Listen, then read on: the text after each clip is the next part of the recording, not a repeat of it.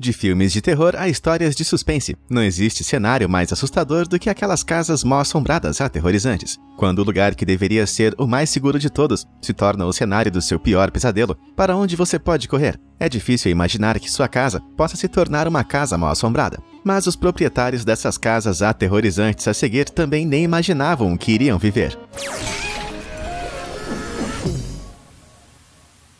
Número 10. Shanley Hotel Imagina que você chega em um hotel pronto para desfrutar de umas férias relaxantes e é solicitado a assinar um termo de responsabilidade antes de pegar a chave do seu quarto. Se você quer se hospedar no Shanley Hotel em Nova York, é isso que vai acontecer. De fato, esse hotel é tão mal assombrado que nenhum hóspede menor de 16 anos pode entrar no local. Conhecido por ser o cenário de várias mortes, existe uma forte crença de que essa antiga casa seja amaldiçoada. Os visitantes relatam ouvir passos, ver cadeiras balançando sozinhas, e já aconteceram muitos avistamentos de fantasmas, incluindo o espírito de luto de Beatrice, a ex-dona do local cujos três filhos todos morreram em uma casa antes de seu primeiro aniversário. Aqui vai uma história de um avistamento que foi gravado. Sal Nicosia, o atual proprietário, comentou como, depois de se mudar, seu gato, que ele tinha 14 anos, se recusava a entrar em determinados quartos. O gato então começou a fazer coisas estranhas, como se recusar a sair de certos locais e nunca sair de casa, apesar de passar a maior parte do tempo fora de casa antes de se mudar. Então, numa noite, eles registraram esse suposto fantasma na câmera.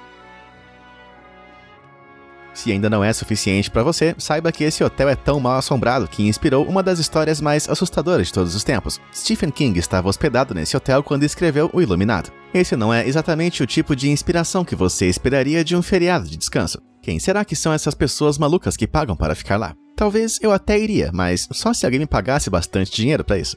Número 9.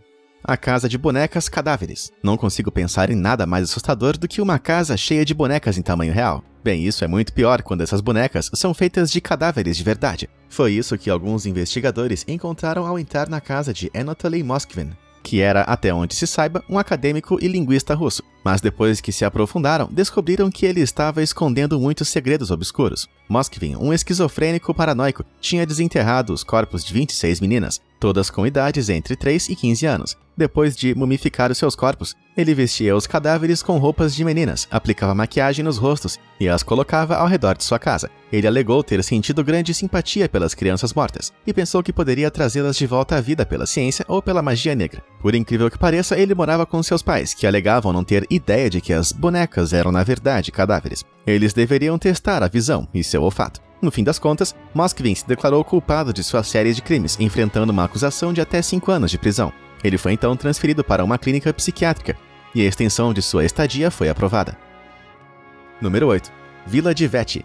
Conhecida como a mais famosa casa mal-assombrada da Itália, essa mansão abandonada nas montanhas foi construída em 1854 pelo Conde Felice de Vecchi, chefe da Guarda Nacional Italiana. Dizem que o conde voltou para casa uma noite e descobriu que sua esposa tinha sido assassinada e que sua filha estava desaparecida, não sendo encontrada nunca mais. Com todos esses trágicos acontecimentos, um ano depois o conde tirou sua própria vida dentro da mansão. Desde então, os moradores relataram acontecimentos fantasmagóricos e dizem que até o piano toca sozinho quase todas as noites. Os altos níveis de atividade paranormal atraíram o ocultista Aleister Crowley, que visitou muitas vezes o local para realizar sessões espíritas e rituais satânicos podemos afirmar com certeza que se você estiver em algum lugar em que Crowley gostava de ir, esse lugar não deve ser muito amigável.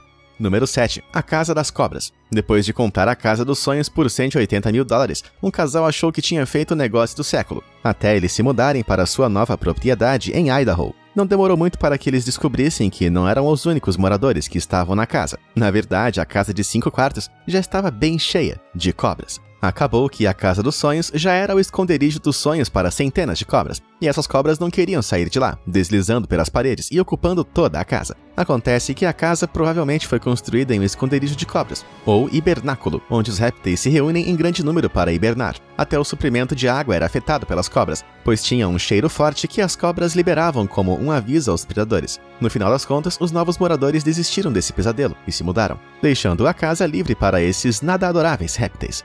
Número 6. A Casa Sally, uma das casas mal assombradas mais infames dos Estados Unidos. Essa casa é conhecida por ser supostamente assombrada por um espírito demoníaco chamado Sally. Ela morava nessa casa e morreu bem jovem, após uma cirurgia feita dentro de casa, que acabou dando errado. Acredita-se que Sally tenha sido o primeiro fantasma que assombrou a casa, agora que já virou o lar de muitos espíritos perdidos e rebeldes. Em dezembro de 1992, Tony e Deborah Pickman se mudaram para lá e suas histórias são arrepiantes. As luzes se acendiam e apagavam aleatoriamente. O cachorro latia em frente ao berço e o bebê acordava toda noite como se alguém estivesse brincando com ele. Os vizinhos podiam ver a janela do quarto e até perguntavam por que os dois deixavam a luz acesa a noite toda com o bebê dormindo lá dentro. Claro, eles não faziam ideia que Debra sempre apagava as luzes. Tony chegou a ver Sally uma noite enquanto descia para a cozinha. Ele então desenhou o que tinha visto e mostrou para um filho de outro ex-proprietário, que identificou como sendo sua amiga imaginária quando ele era mais jovem a qual se chamava Sally. Essa é apenas uma história. Antigos proprietários relataram terem vivido eventos paranormais, aparições, objetos voando pelo ar, sons de arranhões vindo das paredes e até brinquedos espalhados pela casa, com a criança dizendo que estava brincando com sua amiga Sally.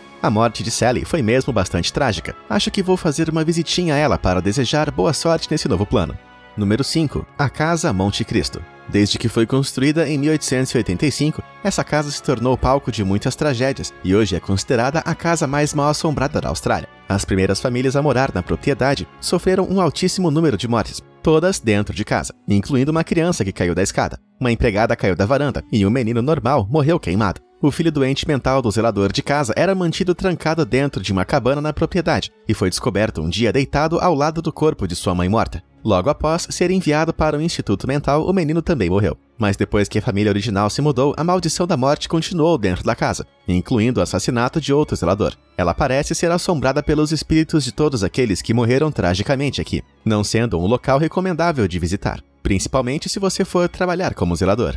Número 4 a plantação de murtas. Esta casa em Louisiana é uma antiga plantação de murtas e parece que é assombrada por 12 fantasmas, incluindo Chloe, filha de um ex-escravo. Também é supostamente habitada pelos espíritos de um número estranhamente alto de pessoas que foram assassinadas aqui. Dizem que 10 pessoas perderam suas vidas dentro dessa casa, de várias maneiras terríveis. Uma dessas vítimas de assassinato foi William Winter, que era advogado e morou na plantação original entre 1865 e 1871. Winter foi morto a tiros por alguém que era supostamente um estranho, e desde então ninguém descobriu o motivo de tanto sangue frio. Depois de levar um tiro, Winter tentou subir as escadas em uma tentativa de procurar ajuda. No entanto, ele morreu lá, dessangrando. As pessoas relataram ter visto aparições fantasmagóricas, ouvindo passos pelos corredores, e quando o programa de TV Unsolved Mysteries tentou filmar aqui, eles relataram ter tido muitas dificuldades técnicas enquanto tentavam filmar. No entanto, uma das experiências paranormais relatadas com mais frequência e talvez a mais bizarra é a do som de passos subindo as escadas, que, é claro, dizem ser os últimos passos de William Winter tentando buscar ajuda. Número 3. Salão Loftus, Considerada por muitos a casa da Irlanda mais mal assombrada, a história dessa propriedade vem de 1170. Uma história longa e sangrenta, com muitos dizendo que existe um espírito que percorre seus corredores. O edifício é tão assustador que os habitantes locais afirmam que é assombrado pelo próprio diabo. Nos anos 1600, existem relatos de que uma jovem que morava na mansão chamada Anne estava jogando cartas com um marinheiro que buscava abrigo contra uma tempestade. Durante o jogo, ela deixou cair uma carta, e quando olhou debaixo da mesa para recuperá-la, viu que o marinheiro tinha patas de bode. Anne gritou em choque, e o marinheiro disse que era Satanás, antes de desaparecer em uma bola de fogo. Dizem que Anne nunca se recuperou e viveu o resto de seus dias em um silêncio devido a esse trauma. Quando morreu, seus músculos ficaram rígidos, com seu corpo não podendo ser endireitado. Ela foi então enterrada na mesma posição em que tinha morrido. Desde então, padres católicos tentam exorcizar essa casa, mas os exorcismos não adiantam muito, já que os funcionários que trabalham lá alegam ter visto o fantasma de Anne descendo as escadas.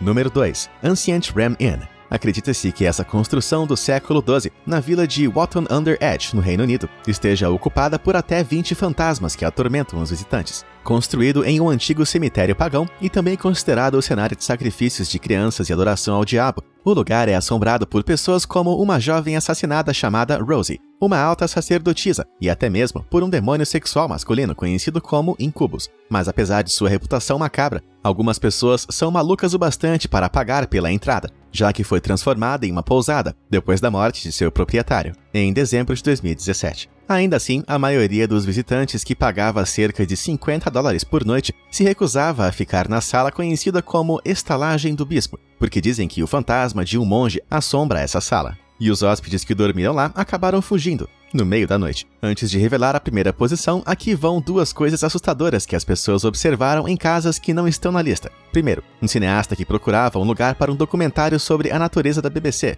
encontrou uma casa abandonada e decidiu investigar o lugar. Uma vez lá, o que ele viu foi chocante. As paredes estavam sangrando. Depois de superar o seu choque, ele percebeu que a verdade não era tão bizarra assim, mas era talvez quase tão aterrorizante quanto a ficção. As paredes sangrentas eram, na verdade, o resultado de uma infestação de centenas de morcegos mas dá para ser mais assustador ainda. Nada como cobras e animais peçonhentos para deixar tudo com um toque ainda mais macabro. Então, imagine o horror de encontrar uma casa como essa, infestada de aranhas num nível que as teias estão bloqueando todas as passagens. Foi o que aconteceu em uma casa no Missouri, depois que mais de 6 mil aranhas ocuparam o local. Talvez fosse melhor só deixar as aranhas ficarem com a casa.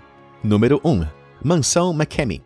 A casa campeã é a Mansão McKemmy, uma experiência como nenhuma outra. É tão intenso que ninguém jamais conseguiu realizar a estadia completa. A experiência deve durar cerca de 8 horas, embora a maioria não chegue a tanto, e é tão intenso que faz com que a maioria chore. Você pode ser amarrado, colocado em pequenos espaços e até ser coberto de cobras e aranhas. Seja qual for o seu maior medo, a equipe da mansão McKemmy vai garantir que você fracasse. A experiência ocorre em quatro locais separados, cada um projetado para levar os visitantes ao seu limite físico e psicológico. Se trata basicamente de um filme de terror interativo. Todo participante deve ter mais de 21 anos, ser livres de condições médicas e assinar um termo de responsabilidade, que é a sua última chance de desistir da ideia. Mesmo assim, o lugar tem uma lista de espera de mais de 24 mil pessoas. Eu fico questionando seriamente a sanidade da população humana. Em comparação com a mansão McKemmy, acho que uma casa mal assombrada cheia de fantasmas e espíritos parece muito menos assustador. E aí, qual dessas casas você se recusaria a entrar? E você já teve alguma experiência paranormal em alguma casa? Conta pra gente nos comentários. Obrigado por assistir e até a próxima.